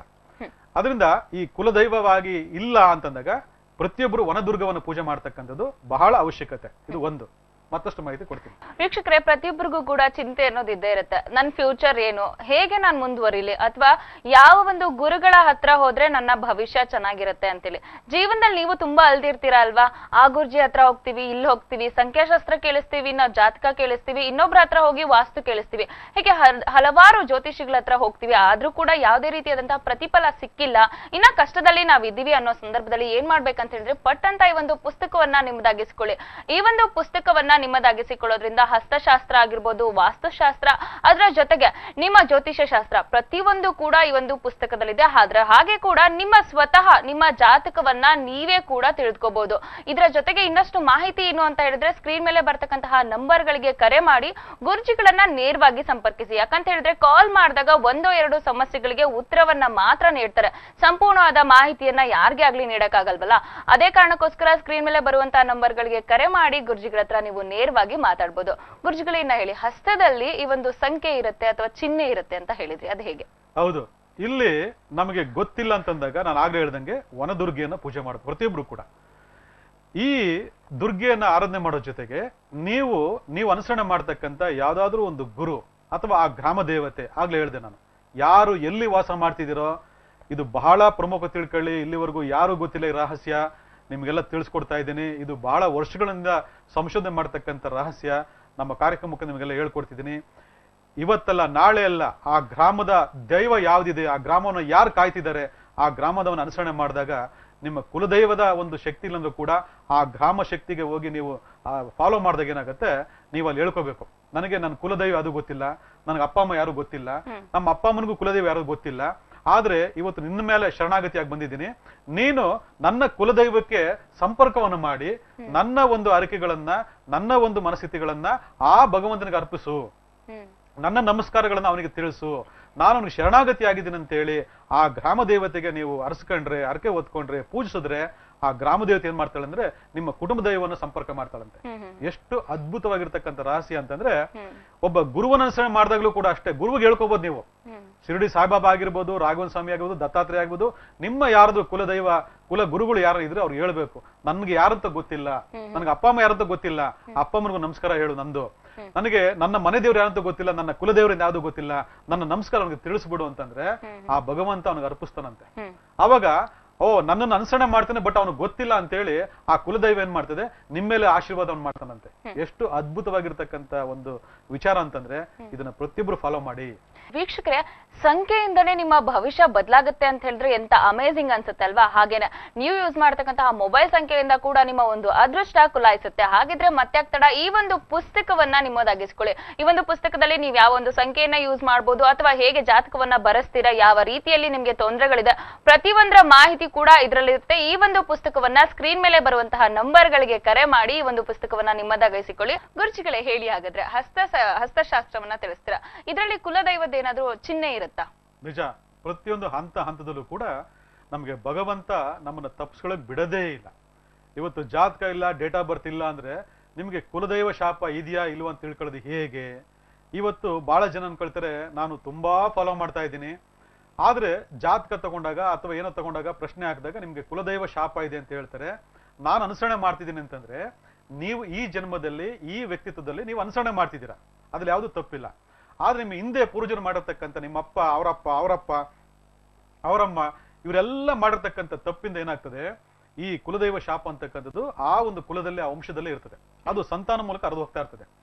ನೀವು ಈ ಜನ್ಮದಲ್ಲಿ ಮಾಡ್ತಾ ಇದ್ದ ತಕ್ಷಣ ಅದು ಒಟ್ಟೋಗುತ್ತೆ ಅಂತ ಲೆಕ್ಕಾಚಾರ ಅಲ್ಲ. ಅದರಿಂದ ಇದನ್ನೇನ್ ಮಾಡಬೇಕು? ನಾವು ಫಾಲೋ ಮಾಡ್ತಾ ಬರ್ಬೇಕು. ಇದಕ್ಕೆ ಒಂದು ಅಸ್ತರೇಖ ಶಾಸ್ತ್ರ ಮುಖಾಂತರ ಹೇಳ್ತಕ್ಕಂಥದ್ದು. ಕುಲದೈವ ಶಾಪ ಯಾರಿಗಿದೆ ಯಾರಿಗಿಲ್ಲ ಅನ್ನೋದ್ರ ಬಗ್ಗೆ ಒಂದು ಸೂಚನೆ ಕೊಡ್ತೀನಿ. ನಿಮ್ಮ ನಿಮ್ಮ ಹಸ್ತರೇಖೆನ ನೋಡ್ಕೊಳ್ಳಿ. ನಿಮ್ಮ ನಿಮ್ಮ ಆಶ್ಚರ್ಯಕ್ಕೆ ದೊಡ್ಡವರಾಗಿರ್ಲಿ ಚಿಕ್ಕವರಾಗಲಿ, ಸ್ತ್ರೀಯರಾಗಲಿ ಪುರುಷರಾಗಿರ್ಲಿ ಯಾರೇ ಆಗಿರಲಿ, ಈ ಎರಡು ಬೆರಳುಗಳನ್ನ ಹಿಂಗ್ ಇಟ್ಕೊಂಡಾಗ, ಈ ಶನಿ ಬೆರಳು ಗುರುವಿನ ಕಡೆಗೆ ಬೆಂಡಾಗಿದ್ರೆ, ನೋಡಿ ಹಿಂದೆ ಕಾರ್ಯಕ್ರಮ ಹೇಳ್ಕೊಟ್ಟೆ, ಸೂರ್ಯನ ಕಡೆಗೆ ಶನಿ ಬೆರಳು ಬೆಂಡಾಗಿದ್ರೆ ಮಹಾ ಶನಿ ದೋಷ ಅಂತೇಳಿ. ಇವರು ಜೀವನದಲ್ಲಿ ನೆಮ್ಮದಿ ದುಃಖ ಕಷ್ಟಗಳು ಅನುಭವಿಸ್ತಾರೆ ಅಂತೇಳಿ. ಹಾಗೆ ಈ ಶನಿ ಯಾವಾಗ ಗುರುವಿನ ಕಡೆಗೆ ಬೆಂಡಾಗಿರ್ತಾರೆ ನೋಡಿ ಎಷ್ಟೋ ಬೆರಳುಗಳು ಆ ಬೆರಳುಗಳ ತುದಿ ಹಿಂಗೆ ಬೆಂಡ್ ಆಗ್ಬಿಟ್ಟಿರ್ತದೆ ಒಂದ್ಸರಿ ಹಿಂಗ್ ನೋಡ್ಕೊಳ್ಳಿ, ಹಿಂಗ್ ನೋಡಿದ್ರೆ ಗೊತ್ತಾಗುತ್ತೆ ನಿಮ್ಗೆ. ಅಥವಾ ಹಿಂಗ್ ನೋಡಿದ್ರೆ ಗೊತ್ತಾಗ್ತದೆ. ಗೊತ್ತು ಇದೆಲ್ಲ ನೋಡ್ಕೊಂಡಿರೋದಿಲ್ಲ ನೀವು. ನೀವು ಏನೇನೋ ನೋಡಕ್ ಹೋಗ್ತೀರಿ ಕೈಯಲ್ಲಿ. ಇದು ಯಾರಿಗೂ ತಿಳಿಸಿರ್ತಕ್ಕಂಥ ಸತ್ಯ ಇದು. ಆದ್ರೆ ಈ ಶನಿ ಬೆರಳು ಯಾವಾಗ ಈ ಗುರುವಿನ ಕೆರಳಿಗೆ ಗುರುವಿನ ತುದಿಯ ಬೆಂಡ್ ಆಗಿರ್ತದೆ ಅವರೆಲ್ಲರೂ ಕೂಡ ಈ ಗುರು ಶಾಪ, ಈ ದೈವ ಶಾಪ ಅಂತಕ್ಕಂಥದ್ದು ಇದ್ದೇ ಇರ್ತದೆ. ಹಾಗಿದ್ದಾಗ ಅವರಿಗೆ ಗುರುಬಲ ಇರೋದಿಲ್ಲ, ದೈವಬಲ ಇರೋದಿಲ್ಲ. ಇವತ್ತು ಬಹಳಷ್ಟು ಸಂದರ್ಭದಲ್ಲಿ ಹೇಳ್ತಕ್ಕಂಥ ವಿಚಾರ ಏನಂತಂದ್ರೆ ಯಾವುದೇ ಒಂದು ಶುಭ ಕಾರ್ಯ ಯಾವುದೇ ಒಂದು ವಿಚಾರಗಳು ನಮ್ಮಲ್ಲಿ ಮಾಡಬೇಕು ಮಾಡ್ಬೇಕು ಅಂತಂದಾಗ ನನಗೆ ಗುರುಬಲ ಇದೆಯಾ ಗುರುಬಲ ಇದೆಯಾ ಅಂತ ಕೇಳ್ತೀರಾ. ಇಲ್ಲೇ ಬೆಂಡ್ ಆಗ್ಬಿಟ್ಟಿದ್ದಾಗೆ ಗುರುಬಲ ಇಲ್ಲಿಂದ ಬರುತ್ತದೆ. ಅದಕ್ಕೆ ನಾವು ಬಹಳಷ್ಟು ವಿಚಾರಗಳ ಬಗ್ಗೆ ತರ್ಕ ಮಾಡಬೇಕು. ನಮಗೆ ಬೇಕು ಅನ್ನೋದಾಗ ದೈವ ಹುಡ್ಕೊಂಡು ಹೋಗ್ತಕ್ಕಂಥದ್ದಲ್ಲ ಅಥವಾ ದೈವ ಇದೆಯಂತ ಹುಡ್ಕೊಂಡು ಹೋಗೋದಲ್ಲ ನಾವು ಸಂಸ್ಕಾರವಂತರಾಗಿ ನಮ್ಮ ನಡವಳಿಕೆ ಬದಲಾವಣೆ ಮಾಡಿಕೊಂಡು ನಾವು ಹಿಂದೆ ಆಗಿರ್ತಕ್ಕಂಥ ಪದ್ಧತಿಗಳೇನಿದೆ ಅದನ್ನ ಬಿಡದ ಹಾಗೆ ಎಷ್ಟೇ ದುಡ್ಡು ಅಧಿಕಾರ ಏನೇ ಇರಲಿ ನಾವು ದೈವನ ಅನುಸರಣೆ ಮಾಡ್ಕೊಂಡು ಬಂದ್ರೆ ನಮ್ಮ ಕಷ್ಟ ಕಾಲದಲ್ಲಿ ಬಹಳ ಮುಖ್ಯವಾಗಿ ಕಾಯ್ತಕ್ಕಂಥನು ಈ ಗುರು ಮತ್ತೆ ಈ ದೈವ ಅನುಸರಣೆ ಮಾಡಿ. ಗುರುಜಿಗಳೇ ಇನ್ನ ಈ ಒಂದು ಕುಲದೈವ ನಮ್ಮ ವಾಸ್ತುವಿನಲ್ಲಿ ಹೇಗೆಲ್ಲ ಕೆಲಸ ಮಾಡುತ್ತೆ ಯಾವ ರೀತಿಯಾಗಿ ನಾವು ಕಂಡ್ಕೋಬಹುದು ನೋಡಿ ಬಹಳ ಅದ್ಭುತವಾಗಿರ್ತಕ್ಕಂಥ ವಿಚಾರ ಇದು. ಮನೆ ಅಂತ ತಗೊಂಡಾಗ ಇವತ್ತು ವಾಸ್ತು ಅಂತ ತಗೊಂಡಾಗ ಎಲ್ಲ ಕಮರ್ಷಿಯಲ್ ಆಗಿ ಹೋಗಿದೆ. ವಾಸ್ತು ಅಂತಂದ್ರೆ ಬರೀ ನಿರ್ಮಾಣ ವಾಸ್ತು ಅದು ಅಲ್ಲ ಹಂಗಿರ್ಬೇಕು ಇದು ಹಿಂಗಿರ್ಬೇಕು ಅದು ಹಾಗಿರ್ಬೇಕು ಹೀಗಿರ್ಬೇಕು ಅಂತೇಳಿ. ವಾಸ್ತು ಅಂದ್ರೆ ನಿಜವಾಗಿ ಸತ್ಯವಾಗಿ ಹೇಳ್ತಕ್ಕಂಥ ವಿಚಾರ ಏನಪ್ಪ ಅಂದ್ರೆ ವಾಸ್ತು ಅಂತಂದ್ರೆ ಒಂದು ಪ್ರಾಣ ಶಕ್ತಿ ಇದು ಜ್ಞಾಪಕ ಇಟ್ಕೊಳ್ಳಿ ಕಟ್ಟಡ ಹೇಗೆ ಇರಲಿ? ಇವತ್ತು ಬಹಳಷ್ಟು ಉದಾಹರಣೆಗಳು ನೋಡಿರ್ಬೋದು ಸಮಾಜದಲ್ಲಿ. ಎಲ್ಲ ಉಲ್ಟಂಪಟ ಇರುತ್ತೆ ಮನೆ ವಾಸ್ತು. ಆದ್ರೆ ಆ ಮನೇಲಿ ತುಂಬಾ ಚೆನ್ನಾಗಿರ್ತಾರೆ. ಯಾವುದೇ ತೊಂದರೆ ತಾಪತ್ರ ಇರೋದಿಲ್ಲ. ಎಲ್ಲ ವಾಸ್ತು ಪ್ರಕಾರ ಬಹಳ ಅದ್ಭುತವಾಗಿ ಕಟ್ಟಿರ್ತಾರೆ. ಅಲ್ಲಿ ಒಂದಲ್ಲ ಒಂದು ಕಷ್ಟ ಕಾರ್ಪಣ್ಯಗಳು ಬರ್ತಿರ್ತದೆ ಅಂದ್ರೆ ಕಾರಣ ಏನು ತಿಳ್ಕೊಂಡಿದ್ದೀರಾ? ಪ್ರಾಣ ಶಕ್ತಿ ಇಲ್ದಿರ್ತಕ್ಕಂಥದ್ದು. ಅಂದ್ರೆ ವಾಸ್ತು ಪ್ರಕಾರ ಕಟ್ಟಿರ್ತಕ್ಕಂಥ ಮನೆ ಅಥವಾ ವಾಸ್ತು ಪ್ರಕಾರ ಇಲ್ದಿರ್ತಕ್ಕಂಥ ಮನೆಯಲ್ಲಿ ಮುಖ್ಯವಾಗಿರ್ಬೇಕಾಗಿರೋದು ಪ್ರಾಣ ಶಕ್ತಿ ಪ್ರಾಣ ಶಕ್ತಿ ಅಂದ್ರೆ ಏನು? ಅದೇ ವಾಸ್ತು. ವಾಸ್ತು ಅಂದ್ರೆ ಏನು? ಪಂಚಭೂತ ತತ್ವ. ಈ ಪಂಚಭೂತಗಳ ತತ್ವ ಈ ಪಂಚಭೂತಗಳ ಪ್ರಭಾವ ಪಂಚಭೂತಗಳ ಶಕ್ತಿ ನಮ್ಮ ಮನೆ ಒಳಗಡೆ ಪ್ರವೇಶ ಮಾಡಿ ಅಲ್ಲಿ ಸ್ಥಿರವಾಗಿ ಇರ್ತಕ್ಕಂಥದ್ದೇ ಪ್ರಾಣಶಕ್ತಿ ಇದು ಜ್ಞಾಪಕ ಇಟ್ಕೊಳ್ಳಿ. ಅದಕ್ಕೆ ಇವತ್ತು ಬಾಡಿಗೆ ಮನೆ ಬೋಗಿನ ಮನೆ ಆ ಮನೆ ಈ ಮನೆ ಏನೇನೋ ಮಾಡಿದೆ ಅನ್ಕೊಂಡಿರ್ತೀರ ಇವತ್ತು ವಾಸ್ತು ತಗೊಂಡಾಗ ಎಷ್ಟೋ ವಿಚಾರಗಳು ನಾನು ಹೇಳ್ಕೊಳ್ತಾ ಬರ್ತಾ ಇದ್ದೀನಿ. ಆದ್ರೆ ಇವತ್ತು ಕುಲದೈವ ಕುಲದೈವ ಶಕ್ತಿ ತಗೊಂಡಾಗ ಈ ವಿಚಾರ ಹೇಳಲೇಬೇಕಾಗಿದೆ ಅದಕ್ಕೆ ಇದೊಂದು ರಹಸ್ಯ ಹೇಳಿದೀನಿ ನಿಮ್ಮ ಹತ್ರ. ವಾಸ್ತು ಅಂದ್ರೆ ನಿಜವಾಗಿ ವಾಸ್ತು ಅಂತ ಯಾವುದು? ಪ್ರಾಣಶಕ್ತಿ. ಯಾವ ಮನೆಯಲ್ಲಿ ಈ ಪ್ರಾಣಶಕ್ತಿ ಇಲ್ಲ ಅಲ್ಲಿ ವಾಸ್ತು ಇಲ್ಲ ಅಂತ ಅರ್ಥ. ಅದಕ್ಕೆ ಎರಡರ ವಿಂಗಡಣೆ ಮಾಡ್ಕೊಳ್ಳಿ. ಇವತ್ತು ನೂರಾರು ಜನ ಕಮರ್ಷಿಯಲ್ ಆಗಿ ಅದು ಅಲ್ಲಿದೆ ಇದಿಲ್ಲಿದೆ ಅದು ಆಗಿದೆ ಈಗಿದೆ ಅಂತ ಹೇಳ್ಬೋದು. ಎಲ್ಲಿ ಯಾವುದೇ ಇದ್ಕೊಳ್ಳಿ ಆ ಮನೇಲಿ ಪ್ರಾಣಶಕ್ತಿ ಇದ್ರೆ ಯಾವುದೇ ಕಟ್ಟಡ ಯಾವುದೇ ಮೂಲೆ ಏನೇ ಭಾರ ಬರಲಿ ಏನೇ ಇರಲಿ ಯಾವ ತೊಂದರೆ ಆಗೋದಿಲ್ಲ. ಅಂದ್ರೆ ವ್ಯಕ್ತಿಗತವಾಗಿ ನಾವು ಒಂದು ಎನರ್ಜಿಗೆ ಇದ್ದೀವಿ ನಮ್ಗೊಂದು ತಾಕತ್ ಇದೆ ಅಂತಂದ್ರೆ ನಾವು ಲಾರಿನೂ ಓಡಿಸಬಹುದು ಟ್ರೈನು ಓಡಿಸಬಹುದು ಬಸ್ಸು ಓಡಿಸಬಹುದು ಟೂ ವೀಲರ್ ಓಡಿಸ್ಬೋದು. ಹೌದು. ನಮಗೆ ತಾಕತ್ತಿಲ್ಲ ಅಂತಂದ್ರೆ ನಾವು ಏನನ್ನ ಓಡಿಸಕ್ಕಾಗತ್ತೆ? ಈ ತಾಕತ್ ಈ ಶಕ್ತಿನೇ ಪ್ರಾಣ ಶಕ್ತಿ ಮನೇಲಿದ್ರೆ ಅದು ಎಂತದ್ದೇ ವಾಸದೋಷಗಳು ಮನೇಲಿ ಇರೋದಿಲ್ಲ ಹಾಗಿದ್ದಾಗ ನಾವ್ ಏನನ್ನ ಮಾಡಬೇಕು? ವಾಸ್ತು ಅಂತ ತಗೊಂಡಾಗ ನಾವಿಲ್ಲಿ ದೈವ ಶಕ್ತಿ ಅಂತ ಹೇಳ್ತೀವಿ. ದೈವ ಶಕ್ತಿ ಅಂದಾಗ ಯಾವ ಮನೇಲಿ ದೈವತ ಆರಾಧನೆ ಇರೋದಿಲ್ಲ. ಆ ದೇವತಾ ಆರಾಧನೆ ಇರತಕ್ಕಂತ ಎಷ್ಟೋ ಮನೆಗಳಿದೆ ಇವತ್ತು. ಅಪಾರ್ಟ್ಮೆಂಟ್ ತಗೊಂಡ್ರೆ ದೇವ್ರ ಮನೆನೇ ಇರೋದಿಲ್ಲ. ಹೌದು. ಇವತ್ತು ಊರ್ ಬಿಟ್ಟು ಊರ್ ಬಂದ್ಬಿಟ್ಟು ಅದೇ ಚಪ್ಪಲಿ ಒಳಗಡೆ ಹಾಕೊಂಡು ಹೋಗ್ತಾರೆ ಅದೇ ಚಪ್ಪಲಿನಲ್ಲಿ ಊಟ ಮಾಡ್ತಾರೆ ಅದೇ ಚಪ್ಪಲಿ ಮಲ್ಕೋತಾರೆ ಹ್ಮ್ ಸಿ ಈ ತರ ಎಲ್ಲ ಒಂದು ನೆಗೆಟಿವ್ ಎನರ್ಜಿಗಳನ್ನ ಮಾಡ್ಕೊಂಡು ಆ ಮನೇಲಿ ಪ್ರಾಣ ಶಕ್ತಿ ಇಲ್ದಂಗೆ ಮಾಡ್ಕೊಂಡ್ಬಿಟ್ಟಿರ್ತೀರ. ದೇವತಾ ಆರಾಧನೆ ಇಲ್ದಿರಲ್ಲ ದೇವರು ದೇವರೇ ನನಗೆ ಗೊತ್ತಿಲ್ಲ ಕುಲದೇವನೇ ಗೊತ್ತಿಲ್ಲ ಅಂತ ಹೇಳಿ ಆ ದೇವ್ರ ಮನೇನೆ ಇಟ್ಕೊಂಡಿಲ್ಲ ದೈವ ಶಕ್ತಿನೇ ಇಲ್ಲ. ಭಗವಂತ ನಿಮಗೆ ಅನವರ್ತವಾಗಿ ಕೊನೆವರೆಗೂ ಒಂದಲ್ಲ ಒಂದ್ ಸಮಯ ನಿಮ್ಮನ್ನು ಕಾಪಾಡ್ತಿರ್ತಾನೆ. ಆ ಭಗವಂತನಿಗೋಸ್ಕರ ಒಂದು ಸ್ಥಾನ ನಿಮ್ ಮನೇಲಿ ಕೊಟ್ಟಿಲ್ಲ ಅಂತಂದ್ರೆ ಆ ದೈವ ಶಕ್ತಿ ನಿಮ್ಗೆ ಸಿಗುತ್ತೆ ನಿಮಗೆ. ಅರ್ಥ ಮಾಡ್ಕೊಳ್ಳಿ. ಅದರಿಂದ ನಾನಾ ರೀತಿ ಸಮಸ್ಯೆ ನಮ್ಮ ಜೀವನದಲ್ಲಿ ಇರ್ಬೋದು. ಮನೇಲಿ ಪ್ರಾಣ ಶಕ್ತಿ ಇರೋ ತರ ನೋಡ್ಕೊಳ್ಳಿ. ಪ್ರಾಣ ಶಕ್ತಿ ಇಲ್ವಾ ಅದನ್ನ ಹೇಗೆ ಕಂಡಿಡ್ಕೊಳ್ಳೋದು? ಹೇಗ್ ತಿಳ್ಕೊಳ್ಳೋದು? ಸರಿ ಮಾಡ್ಕೊಳ್ಳಿ ಒಳ್ಳೆದಾಗ್ಲಿ. ಎಸ್ ಗುರುಜಿಗಳೇ ಕೊನೆಯದಾಗಿ ಇವತ್ತಿನ ಕಾರ್ಯಕ್ರಮದಲ್ಲಿ ಏನ್ ಹೇಳ್ತೀರಾ? ಜಾತಕ ಬರ್ಸಿ ಫಸ್ಟ್ ಜಾತಕ ಇಲ್ವಾ? ನಮ್ಮನ್ನ ಸಂಪರ್ಕ ಮಾಡಿ ಜಾತಕ ಕಳ್ಸಿಕೊಡ್ತೀವಿ. ಮನೆಯಲ್ಲಿ ಪ್ರಾಣ ಶಕ್ತಿ ಇಲ್ವಾ? ಆ ಪ್ರಾಣ ಶಕ್ತಿ ಇದೆಯಾ ಇಲ್ವಾ? ಫಸ್ಟ್ ತಿಳ್ಕೊಳ್ಳಿ. ಆಮೇಲೆ ವಾಸ್ತವ ಗಮನ ಕೊಡಿ. ಒಳ್ಳೆದಾಗ್ಲಿ. ಎಸ್ ಗುರುಜಿಗಳ ಇಷ್ಟೊತ್ತು ನಮ್ಮ ಕಾರ್ಯಕ್ರಮದಲ್ಲಿ ಪ್ರತಿಯೊಂದರ ಬಗ್ಗೆ ಕುಲದೈವ ಆಗಿರ್ಬೋದು ಸಂಖ್ಯಾಶಾಸ್ತ್ರ ಆಗಿರ್ಬೋದು ಹಾಗೆ ಹಸ್ತಶಾಸ್ತ್ರ. ಇದೆಲ್ಲದರ ಬಗ್ಗೆ ಮಾಹಿತಿನ ನೀಡಿದ್ದೀರಾ? ತಮಗೆ ಧನ್ಯವಾದ. ನಮಸ್ಕಾರ. ಎಸ್ ವೀಕ್ಷಕರೇ, ನೀವು ನೋಡ್ತಾ ಇದ್ದೀರಾ ಸಂಖ್ಯಾಫಲ ಅದೃಷ್ಟ ಕನ್ನಡಿ. ಈ ಒಂದು ಕಾರ್ಯಕ್ರಮದಲ್ಲಿ ಇವತ್ತು ವಿಶೇಷವಾಗಿ ನಾವು ನಿಮ್ಗೆ ಕುಲದೈವ ಅಂದ್ರೆ ಏನು? ಕುಲದೈವದಿಂದ ಆಗ್ತಕ್ಕಂತ ಅನುಕೂಲ, ಅನಾನುಕೂಲ ಪ್ರತಿಯೊಂದರ ಬಗ್ಗೆ ಮಾಹಿತಿಯನ್ನ ಗುರುಜಿಗಳು ತಿಳಿಸ್ಕೊಟ್ಟಿದ್ದಾರೆ.